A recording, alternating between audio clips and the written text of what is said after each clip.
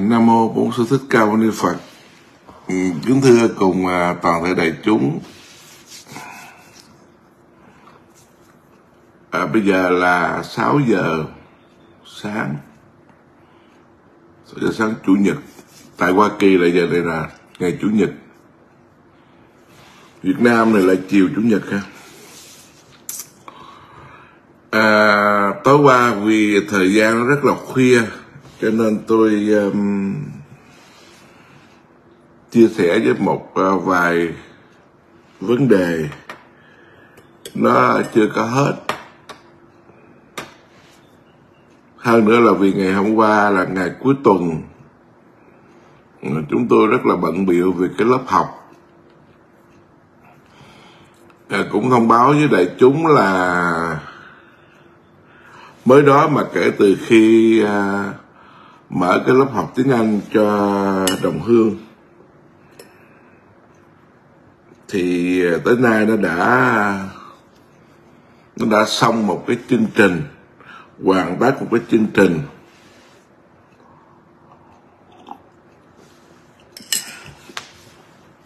Tuy nhiên thì trong cái quá trình mà cái chương trình đã qua đó, thì tôi xem đó là một chương trình thử nghiệm thử nghiệm để coi mình à, nó có đem lại cái cái cái thiết thực cái lợi ích nào không?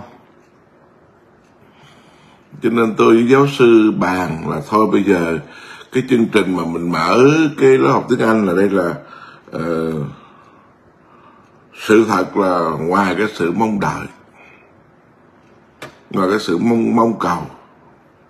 Bởi vì đùng một cái cái cái tâm mình nghĩ cái điều lành điều tốt cho đồng hương, thì hai, một người đời, một người đạo, một người giáo sư, một người thầy tu. Nghĩ rằng thôi bây giờ mình làm cái vấn đề gì đó để thiết thực rồi là cúng dường lên đức phật. Mà phật có dạy rằng là phụng sự chúng sanh là là thiết thực cúng dường chư phật. Vì vậy mà tôi giáo sư mới bàn, thôi bây giờ mình mở cái lớp học. Thì đó là cái thực tế nhất mà lớp học đây là mình đang là ở nơi quốc độ Hoa Kỳ. Thì mở cái lớp học cho cái người Việt của mình đang sinh hoạt tại Hoa Kỳ. Vì để đó mà nó thiết thực thiết thực nhất. Coi như tôi dám nghĩ rằng là cái cái cái, cái ngôi thảo am của mình nhỏ nó có giới hạn. Nhưng mà nếu như mình chờ đợi nó nó có một cái duyên nào đó rộng lớn hơn thì tôi không nghĩ điều đó. Vì tôi đã bằng lòng với cái cái khả năng vốn có của mình là một cái nơi, cái cái tuệ xá, hay là nói cái thảo am, hay là nói cái tịnh thất, hay nói cái thiền thất, hay là nói cái tu viện, hay cũng được, cái gì cũng được. Miễn trong đó có có thờ kính phật nhớ tưởng phật. Có lời phật dạy là pháp. Thì có người tu sĩ ở, giống như là đủ ba ngôi, thì gọi là tăng. Thì cái đó thì gọi danh từ gì cũng được. Không nhất thiết là phải rộng lớn, to, rộng mới gọi là ngôi chùa. Mà nhỏ không gọi là ngôi chùa không có. Sở dĩ do cái tâm mình đã phân biệt tâm của chúng ta nó phân biệt cho nên vì vậy mà nó có trở thành những cái ừ, ý, gút mắt những cái khó khăn những cái phiền phiền não. Chứ giá như mà tâm chúng ta nó nó bớt đi cái sự phân biệt á thì tôi nghĩ rằng nó nó không có phải không có bao nhiêu thứ gọi là cho mình phiền não đâu.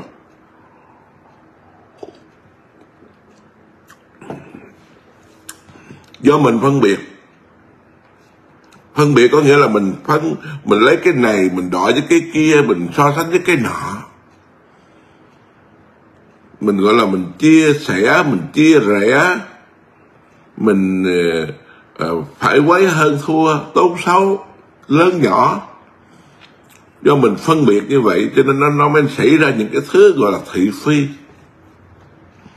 Rồi những cái thứ thị phi đó nó sinh ra những cái thứ gọi là bất bình bất mãn bất như ý, nó sinh ra bao nhiêu thứ não phiền.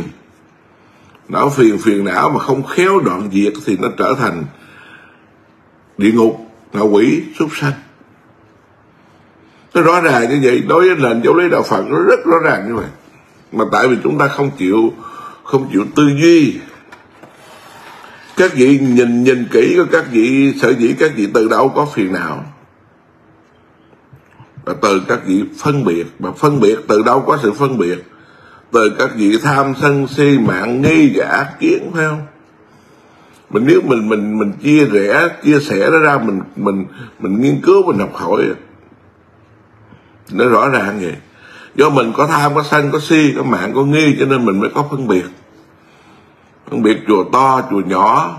Ờ, cái nơi này là chùa nơi kia là tỉnh xá nơi nọ là niệm phật đường nơi nói cho tất cả các chỗ nào, tất cả những danh từ, bất cứ dùng danh từ gì.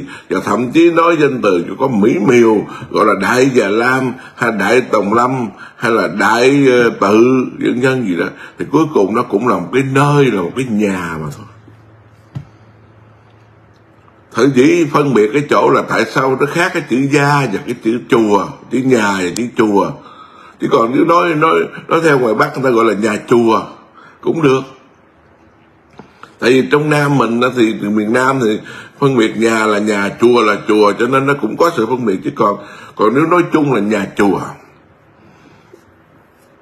Thì cái mình hiểu cho cùng xin cho tận thì cái nhà hay cái chùa cái nhỏ hay cái lớn gì cũng là cái chỗ để mà trú ngụ để mà có một cái sở hữu riêng có một sự quản lý uh, giáo dục uh, gia đình riêng vậy thôi.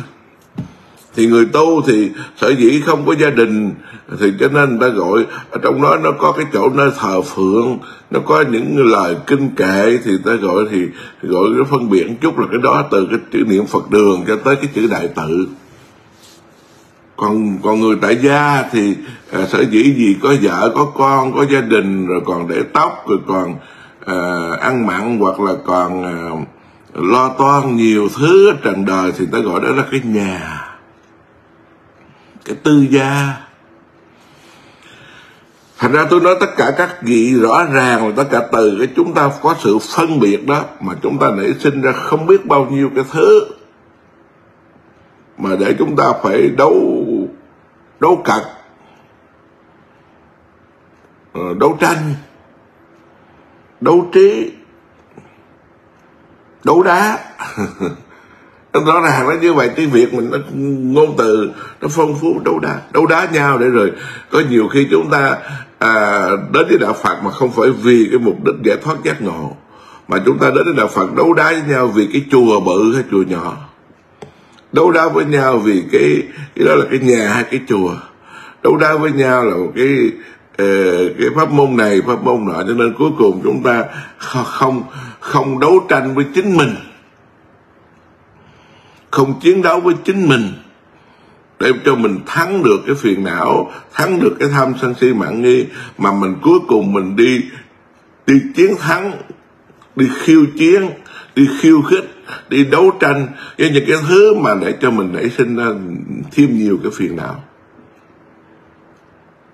vì vậy mà cái tâm mình nó ô nhiễm là đấy vậy. Cho nên tôi nói các vị là tôi cũng từng từng bị ngu si dữ lắm. Vậy chứ lâu lâu, vậy chứ ngồi dày nói chuyện thao thao vậy chứ cái lâu lâu nó cũng trỗi cái ngu si nó ở đâu nó nhập vào. Cũng ngồi mình cũng suy nghĩ sao mình cái chùa nhỏ vậy ta? Để có khi nhiều khi người ta không có gọi mình là cái chùa, mà người ta gọi là cái nhà rồi tại sao mình có cái cái cái, uh, không có tổ chức những cái cúng kiến những cái lễ nghi những cái để mà mình uh, hoạt động gọi là hoạt động tôn giáo vậy ta? Mà tại sao mình phải đi làm để mình uh, nuôi thân vậy ta?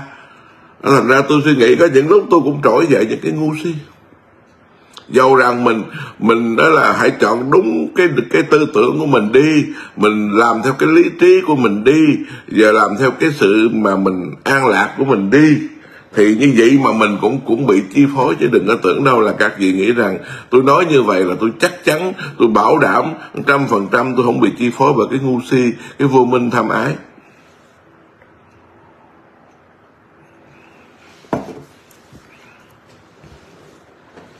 Nếu nói mặt nào đó thì các huynh đệ thử suy nghĩ cái bây giờ nếu nói một mặt nào đó là tôi được an lạc hơn nhiều người đó chứ.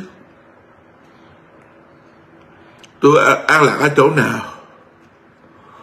Là tôi an lạc, bây giờ là tôi ở một cái nơi mà tôi không hề à, có cái cái tham vọng để có một cái chức tước gì à, đối với à, cái danh vọng cái quyền tởi của xã hội. Cái an lạc là tôi đang à, tự tự tại ung dung. Vô ngại với chính mình đó chứ. Cái an lạc là tôi không có bị ràng buộc những cái cái điều mà với cái sự ờ, thống trị của à, chính quyền ví dụ vậy. Thật sự là hiện giờ là nếu như một mặt nào đó tôi rất là an lạc nhưng mà cái vấn đề mà tôi có bằng lòng và tôi có chấp nhận được cái an lạc này hay không?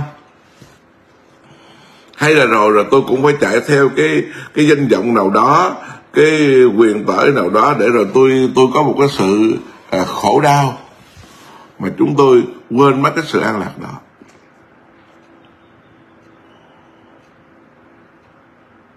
Giờ tôi an lạc tôi tự tại. Ví dụ như cái giờ này là cái giờ à, ta có quyền ngủ nghỉ nè nhưng mà rồi rồi rồi mình người tu cho nên không thể nào mà ngủ uh, trước khi minh tướng xuất hiện được.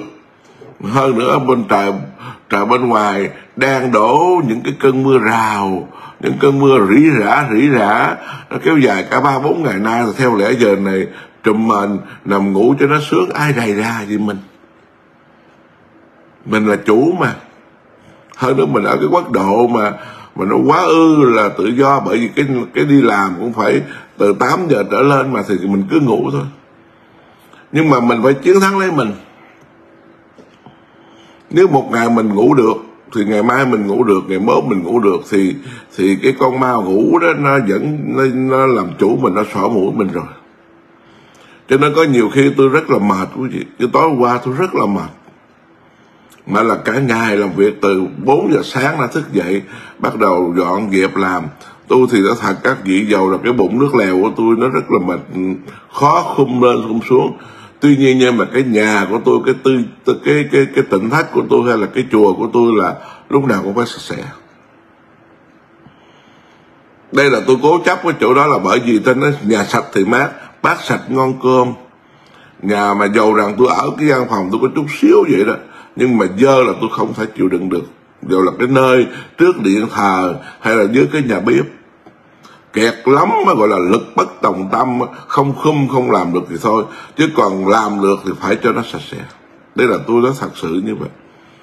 Có những cái mình tu hành mình phải buông xả, nhưng mà có những cái mình cũng không phải là cái nào cũng buông xả hết. Tại vì mình có cái nhà thì mình phải bảo hộ cái nhà mình có cái chùa thì bảo hộ cái chùa. Nhưng mà bảo hộ với cái mức độ vừa phải và nó thể hiện cái tâm của mình ở trong sạch ví dụ sáng dậy thì phải quét quét quét quét cái nơi chùa chiền nơi uh, thờ phượng thì gọi là uh, tảo cấp già lam địa thờ thờ trí tuệ sanh nhược vô tân khách trí việc hữu thánh nhân hành có nghĩa là bằng con quét gấp cái cho sạch cái cái đất già lam. Mà cái đất già lam đó là cái gì? Nó ví như cái bản tâm bản tâm của người tu sĩ vậy. Bởi vì cái bản tâm của người tu sĩ đâu phải là người tu sĩ nào cũng hoàn toàn trong sạch đâu. Trong một đêm thức thức uh, chập chờn trong trong giấc mộng trong ngủ nghỉ đó nó làm cho con người nó gọi là là hồn siêu phát tán nó làm cho con người phải uh, chạy theo những có chạy theo những cái dục vọng những cái thanh danh. Như vậy mà sáng nay quét quét gấp quét gấp đất già lam giống như cái mảnh đất trí não mình này nè nó bị nhiễm ô, nó bị nó bị bụi bám, thì bây giờ phải quét, gọi là tảo cấp già lam địa. Để chi vậy? Khi mà mình quét cho nó sạch những cái nhiễm ô trong tâm thức này nè, thì gọi là thời thời trí tuệ sanh. Để cho giờ giờ trí tuệ nó được phát sanh. Nhược vô tân khách chí, việc hữu thánh nhân hành.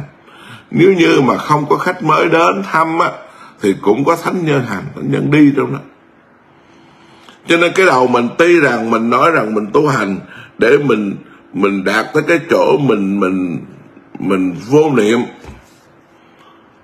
Thật sự nó chữ vô niệm ở đây không có phải rằng mình mình không còn niệm nào hết. Mà mình vô niệm có nghĩa là mình không có những cái ý niệm lăng xăng phan duyên. Không có những cái ý niệm uh, gọi là rơi đọa vào đường ác còn mình có cái niệm là cái gì? Là nó vẫn có một cái thứ niệm.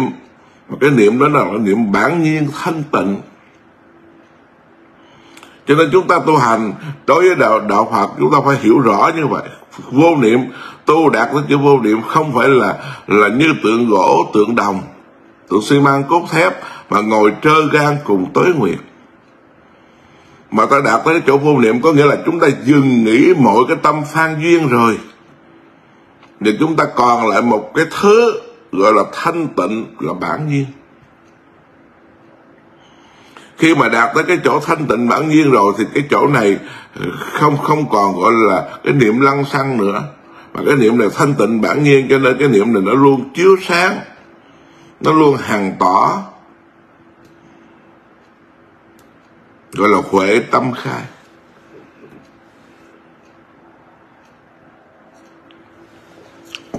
Cho nên xưa nay, các phật tử đi theo đạo phật thì các phật tử hiểu lầm và hiểu chưa trúng về về lời phật dạy nhiều lắm.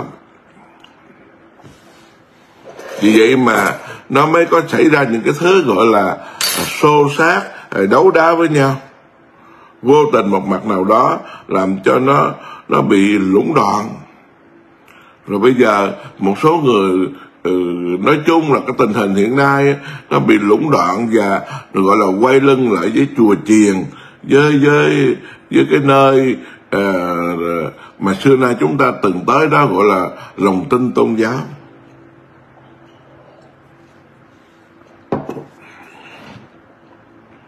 Các vị cảm thông cho tôi là sáng dậy thì phải uống nước. Mà một tuần lễ thì um, uống hai lần cà phê vậy thôi, chứ còn không có phải ghiền. Tại vì uống để giữ cái cái cái não này nè. Cái não này bây giờ là từ ngày mà mà bắt đầu nó tuổi về chiều này là bắt đầu nó bắt đầu nó quên quên rồi đó. Nó không mất, nhưng mà nó hơi quên. Nó nó bị xáo trộn nhiều thứ, hoặc giả nó bị lấp vùi vậy thôi. Trừ ra khi nào mình tu mà mình đạt tới cái chỗ mà gọi là bản nhiên thanh tịnh rồi thì thì nó không có quên. Nó từng ngăn từng ngăn, nó quên. Còn bây giờ mình nó nó nó lộn xộn như là một cái cái tủ sách của mình. Nó đủ thứ trong đó vậy thì bây giờ các các phật tử nên nhớ rằng là cái vấn đề phật pháp. Tôi tôi biết rằng tất cả tín đồ tuy rằng nói gì nói chứ tôi biết là ai cũng cũng dường như cũng quan tâm và bận tâm lúc này. Vừa quan tâm mà vừa bận tâm.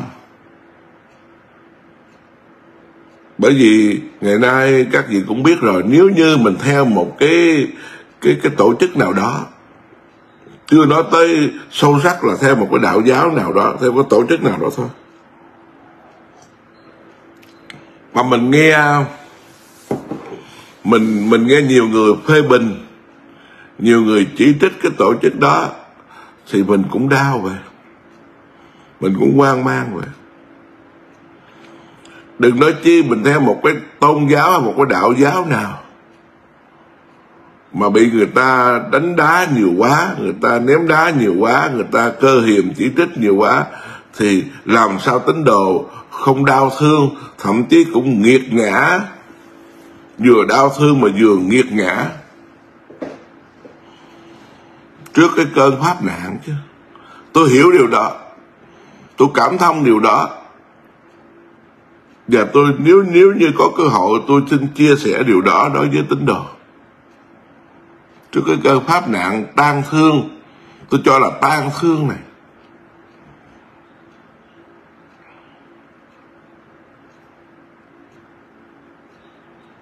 Hơn bao giờ hết. Và đi vào thực tế thì đúng ra cái thời kỳ này mới gọi là thời kỳ pháp nạn. Pháp nạn thật sự và thậm chí cũng có thể gọi là mạt pháp thật sự. Bởi vì nó nó rõ như ban ngày. Những cái xấu ác, những cái tệ lậu, những cái tệ nạn, những cái ừ, dối trá những cái lưu manh tôi dùng danh từ thẳng thừng nó nó rõ ràng như ban ngày. Không còn gì để gọi là là là có thể rằng che giấu nữa hết trơn. Mà thậm chí cái sự dối trá cái sự gian manh cái sự uh, tệ lậu cái sự tai hại nó không phải là quả gửi tai bay đâu mà nó là sự thật.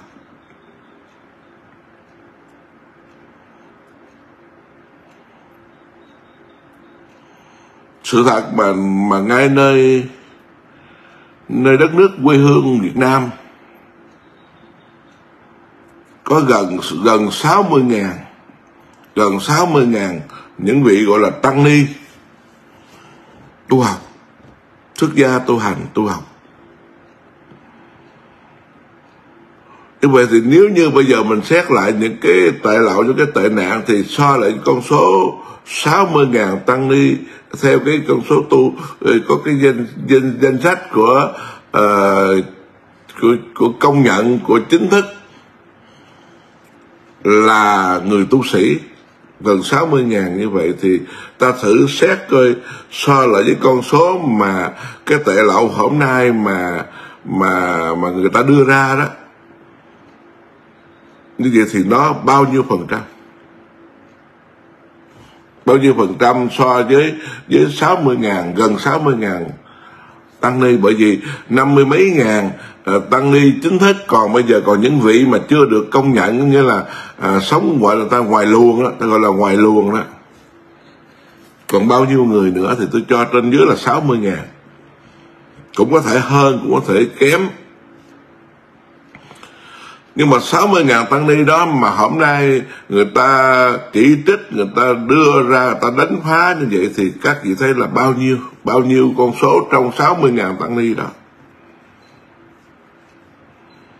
Như vậy nếu so sánh thật sự thì nó là con số ít. Nhưng mà tại sao con số ít? Mà nó trở thành một cái gọi là con số nhiều. Là tại vì có một số tăng ni hôm nay mà người ta đưa ra ta đánh phá, người ta chỉ trích đó thì tại vì nó nó nó nó nó, nó bị nó nó được cái sự yêu quý cái sự uh, tổ chức cái tín đồ nó nó theo đông.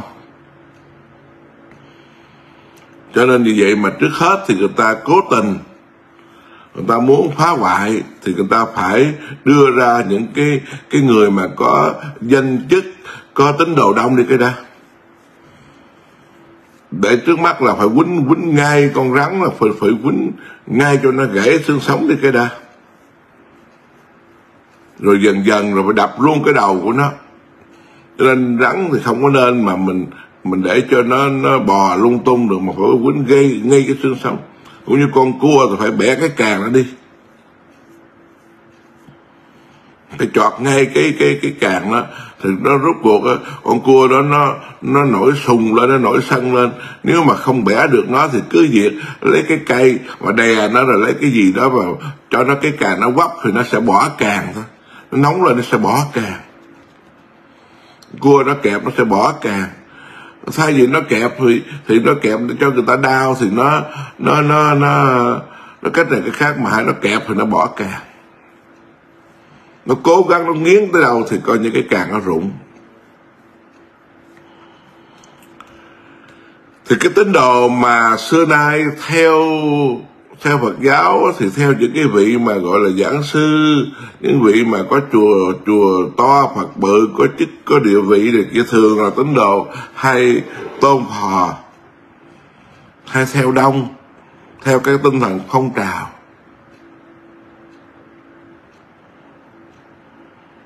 Thì bây giờ nó bắt đầu muốn muốn quýnh, muốn muốn diệt tận gốc thì trước mắt phải cứ quýnh cho nó con rắn, cho nó gãy xương sống đi. Cái xương nó gãy rồi thì còn cái cái cái cái bộ phận của nó, thân của nó không có làm gì được hết. Bởi vì nó lo nặng trong cái xương sống, cũng như con người mà nó gãy cái xương sống rồi thì coi như không có làm được việc nặng. Thì cái trong đó thì bắt đầu nó môi tiền. Cho nên đây là một cái điều mà sơ hở, mà gọi là mất cái chánh niệm của một số thầy tu có ăn có học đàng hoàng. Nhưng mà lại mất cái chánh niệm lúc mà mình dễ vui, mình giảng đạo, gọi là thao thao bất tiện. Mình tưởng đâu là mình có cái bằng, như vậy là mình sẽ vượt qua tất cả cái bằng, bất cứ bằng tiến sĩ ở đâu nghĩ là mình sẽ ngon hơn mọi người, nhưng mà không phải ngon hơn.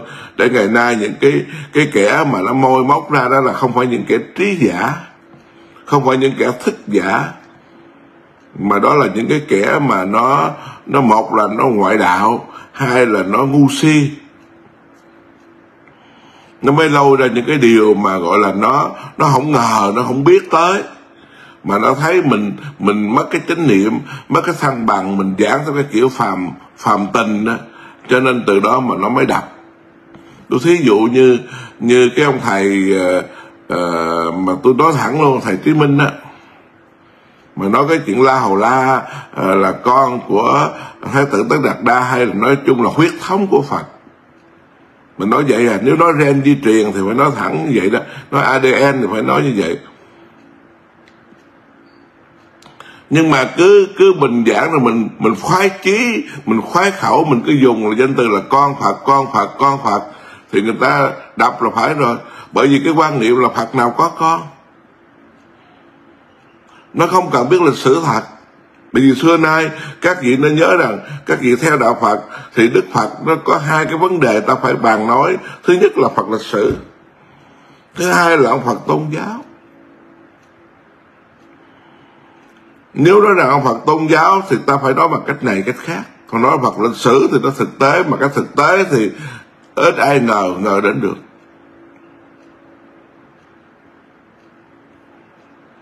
Cũng như ví dụ như mấy thầy làm những cái việc nó kinh thiên động địa giúp cho hàng hàng ngàn ngàn con người. Nhưng mà à, người ta không để ý. Nhưng mà lỡ như chúng ta có làm một điều gì sai với một người nào đó thì người ta sẽ sẽ sẽ dở trận, để sẽ đánh phá. Thí dụ như cái cái chùa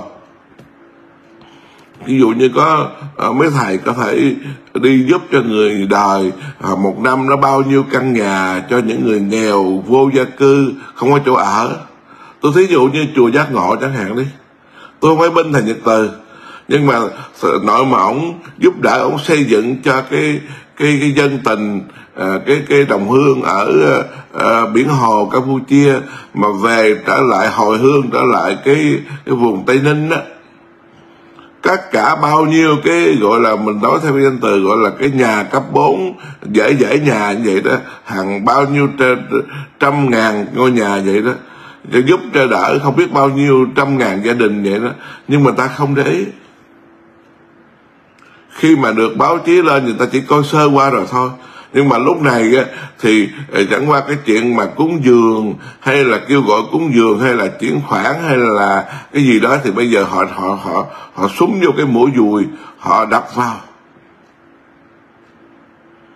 Cho nên mình thấy cái chỗ này là là mình mới thấy thấy nó tội nghiệp tội nghiệp cho cả đôi bên. Thí dụ như cái hiến máu nhân đạo, thì đâu có ai hiến máu nhân đạo nhiều bằng tăng ni tín đồ của chùa giác ngộ của thầy nhật tư nhưng mà người ta không thấy điều đó coi như một giọt máu cứu người, hay là một ống máu cứu bao cứu người, hay là một một một người, một máu của một người để cứu một người. Họ không để chuyện đó. Mà bây giờ họ đánh phá cái vấn đề gọi là thế này thế khác. Giàu cho nó trúng cỡ nào, đừng nói chi là là là nói lỡ lời hay là nói quá quá sức. Thì họ vẫn đánh phá bởi vì cái chuyện mà tốt thì dĩ nhiên họ chỉ thấy sơ qua, họ chỉ nhìn qua thôi, chứ họ không không nhìn cái cái mặt mà gọi rằng là là là đó là ích cho người bao nhiêu. Tôi thí dụ các vị thấy một năm mà mà chùa giác ngộ bao nhiêu lần kêu gọi tăng ni tín đồ phải đi hiến máu như vậy, thì các vị thử nghĩ được bao nhiêu lít máu và cứu biết bao nhiêu người. Nhưng mà ta không nghĩ điều đó. Thành ra cái ngày nay sở dĩ đó, cái chuyện mà mà mà mà mà tại lậu tại hại nó xảy ra đó, là tại vì cái cốt ý là nó muốn cho đạo phật phải nghèo nghèo sắc máu, nó gọi là nghèo sắc máu, nghèo rớt mồng tơi, tả tơi, nghèo mà phải đi quấn, đi ra ra lượm giải dụng mà mặc, và xin ăn cho qua ngày đoạn tháng như vậy đó, đặng đừng làm cái chuyện gì lợi ích cho nhân sinh nữa thì như vậy là nhân sinh nó sẽ bỏ cuộc.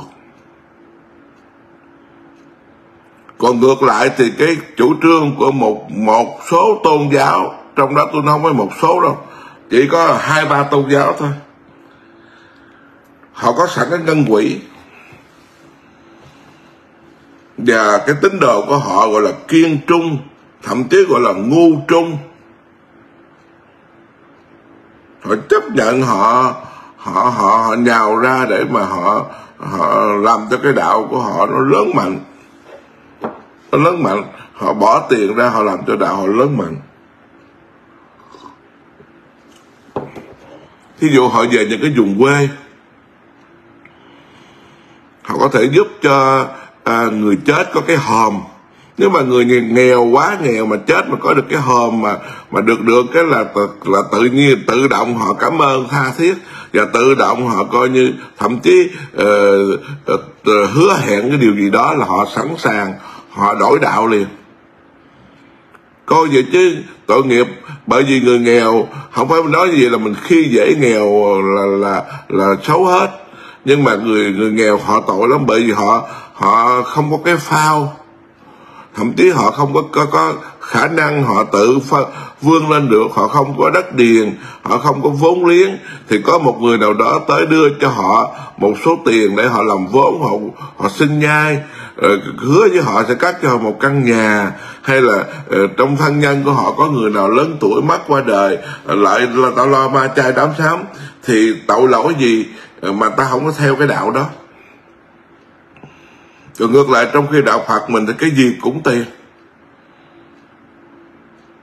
thậm chí ở nhà quê mà mà bây giờ đám cũng phải kéo đua nhau mà cúng trai tăng để cũng phải tốn tiền.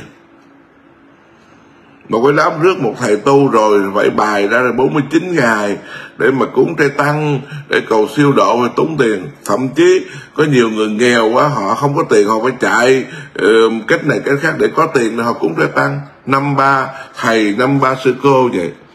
Thì chúng ta nghĩ coi cái cách làm đạo của chúng ta như vậy có trúng chưa? Phật giáo mình như vậy có trúng chưa? Mình có đi thật sự, đi thật sự vào lòng quần chúng chưa? Hay là mình chỉ chỉ mong cho người ta có phước bằng cái chuyện cúng dường? Vì vậy mà thừa cơ hội này thì cái đạo khác nó đập vô là quá trúng rồi. Quá đúng rồi, không có gì sai trong khi hội cất chùa cũng phải đi cất chùa để để làm lợi ích cho bá tánh để bá tánh tu. Nhưng mà khi cất chùa xong rồi thì thuộc quyền sở hữu của của cái vị trụ trì đó. Rồi sau ra là thuộc quyền sở hữu của giáo hội. Chứ đâu có nói là cái chùa này của nhân dân. Mình đi liền với một cái xã hội nó như vậy thì mình, cái chùa viện, cái tôn giáo, gọi là Phật giáo, nó không khác hơn cái cái cái cái về cái nguồn máy chính trị được. Tôi đây là tôi không nói về việc chính trị nhưng mà cái nguồn máy chính trị thì nó sao? Ủy ban nhân dân hội đồng nhân dân à, dân dân cái gì nó cũng có nhân dân hết. Nhưng mà chỉ có cái ngân hàng của nhà nước. Ngân hàng nhà nước. Cái cái đầu cái đầu mà nó lợi ích nhất là nó thuộc của nhà nước, gọi là ngân hàng nhà nước. Còn cái gì mà nó nó về mặt tổ chức, về mặt hình thức thì thì thì cứ là của nhân dân.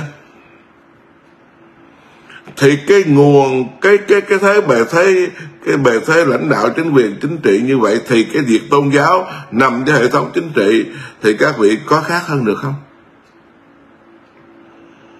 Một khi chùa là của nhân dân đóng góp để xây dựng cho một vị lãnh đạo tinh thần ở, ở cái chùa đó xây dựng. Nhưng mà vị lãnh đạo tinh thần xây dựng rồi thì cái chùa đó là của vị lãnh đạo đó. Mà vị lãnh đạo đó là dưới hệ thống của một cái tổ chức giáo hội thì chùa đó của cái giáo hội đó. Thì có phải rằng là cũng như ngân hàng nhà nước không?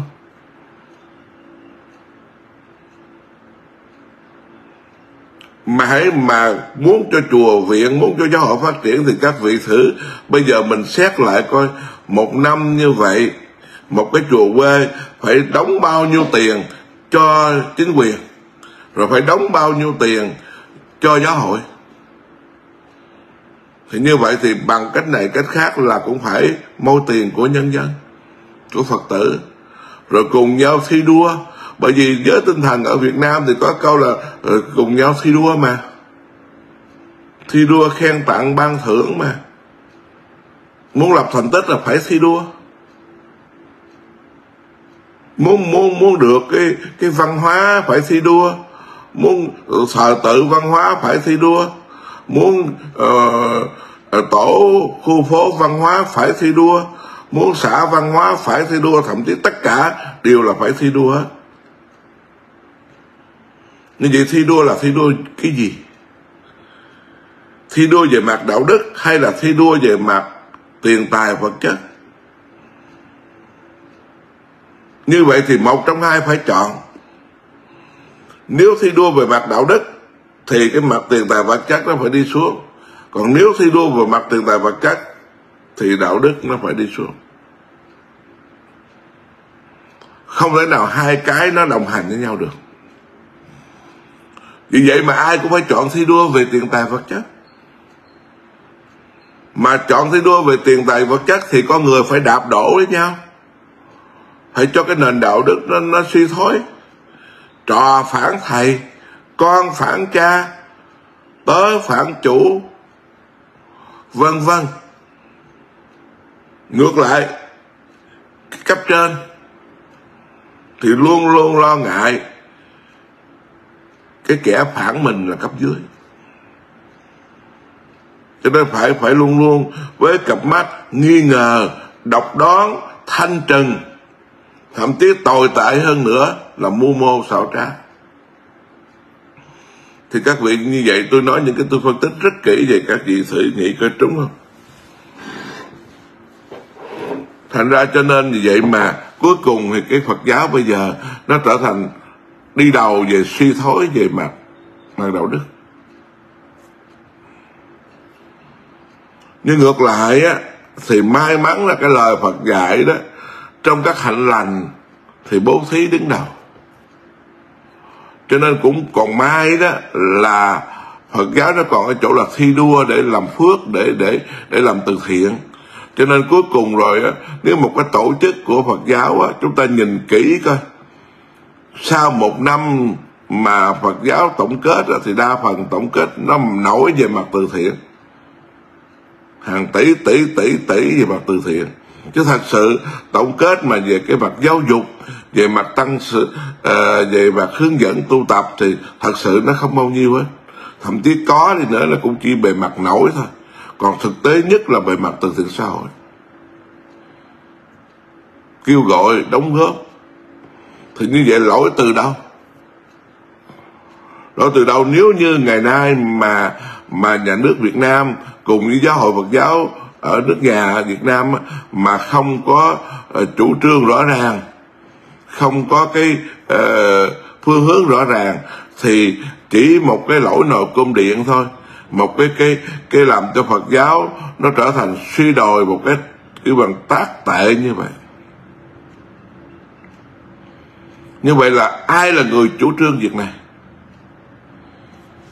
Ai là người chủ trương việc này để cho cái cái Phật giáo Việt Nam hay là nói người tu sĩ người tu sĩ của Phật giáo đồ nhất là Phật giáo Việt Nam? Nó nảy sinh ra những điều gọi là tệ lậu tệ hại như vậy. Tại sao ngay từ đầu không can thiệp không không uh, không giáo dục Ờ, không chỉ trích mà để ngày hôm nay thừa cơ hội nước đục thả câu, thừa gió bẻ măng. Cho nên tất cả điều chúng ta ý lại Phật giáo Việt Nam nói chung, hay là những người tu sĩ nói riêng, ý lại. Cái lại tưởng đâu là mình là ngon lắm mình là những người à, đạo Phật, là những người có công trận, đi liền với dân tộc. Tưởng đâu là mình ngon lắm, không ai được quyền đụng tới mình.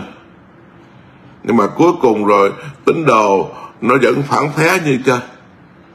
Nó vẫn quay lưng vậy với chùa như chơi. Và chính mình đập mình như chơi. Chính mình đập mình cho nên ngày nay tôi nghĩ rằng các vị à, tại vì nó lỡ quê độ quá rồi cho nên các vị cũng tổ chức cái tỉnh thành này tỉnh thành nọ để gọi là cái tựa đề nào là thắp sáng niềm tin à, tỏ ngát hương sen rồi à, à, hướng về à, chánh pháp gì tùm lum cái tựa đề nghe hay lắm. Nhưng mà thật sự ra càng văn biểu ngữ thơm tho chừng nào thì sau cái bức màn biểu ngữ đó nó bụi bặm nó nhơ nhớp nó thúi tha chừng đó. Dầu các vị có cố tình uh, che đậy cỡ nào đi nữa thì cũng cũng cũng sau cái lớp đó nó nó cũng là một cái điều mà mà làm cho những người tín đồ họ bất mãn rồi. Họ không có còn niềm tin ở đâu mà thắp sáng.